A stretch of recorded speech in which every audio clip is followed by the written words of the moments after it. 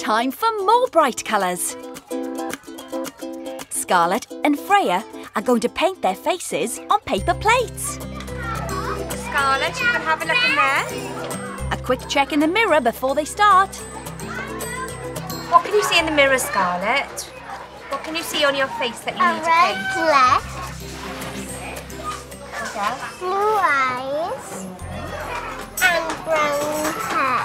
I got brown skin. I got black hair. Um, I got red lips. Scarlett starts by painting her bright blue eyes. Make yourself look really happy, Scarlett. That's a big happy smile, just like yours, Scarlett. Now then, what about your hair? Freya's painted her skin. And Scarlett paints her hair.